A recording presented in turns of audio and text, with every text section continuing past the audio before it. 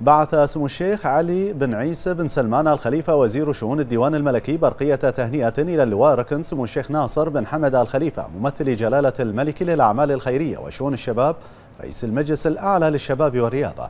وذلك بمناسبة صدور الأمر الملكي السامي بتعيين سموه مستشارا للأمن الوطني.